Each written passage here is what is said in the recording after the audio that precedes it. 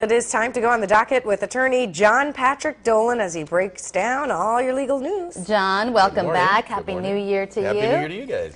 Well, why don't we start by talking about Doris Payne? She's a self-proclaimed jewelry thief. So what's the latest with her case? Well, last Friday it was set for a bail hearing, what they call 1275 Penal Code section. And what that is, is if you're going to put up bail, you have to show the court and the, the prosecution where you got the money for the collateral and where you got the money for the bail premium. That was scheduled for Friday. Neither her lawyers nor any documents showed up on Friday, so no hearing took place. She's scheduled for what they call a trial readiness conference on February 3rd. That's probably the next date back in court. The inference is probably, given the fact that she listed her employment as jewel thief, that they were going to have a little difficulty living up to the standards of Penal Code Section 1275, even though it's only a $65,000 bail. So she'll be back February 3rd, and they will start scheduling uh, a trial for this case. And maybe in the interim, the lawyers will find uh, an explanation for how bail could be posted. I understand her daughter might put her house up, and so then the question is, where did you get the money to put up the $6,500 bail premium? And so far, not a good answer.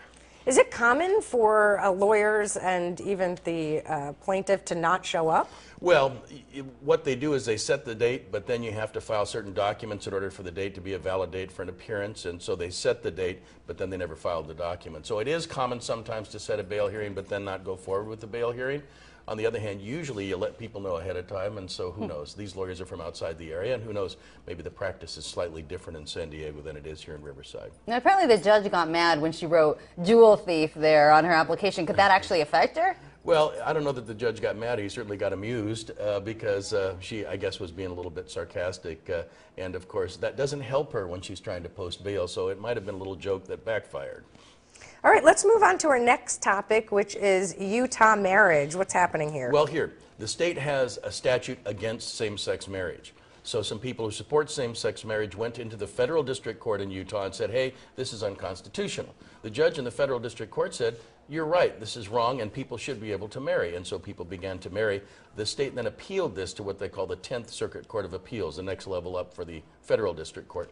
Apparently, the 10th Circuit wouldn't give them a stay, and so people continued to get married. So then the state went to the Supreme Court of the United States and said, hey, until we litigate this, let's just put a stop to this. And the Supreme Court said, yes, let's take this slowly. No more same sex marriage in Utah. And so Utah same sex couples are in the same place that many Californians were, remember, a couple of years ago right. when they got mm-hmm. married, and then they said, no, you couldn't get married.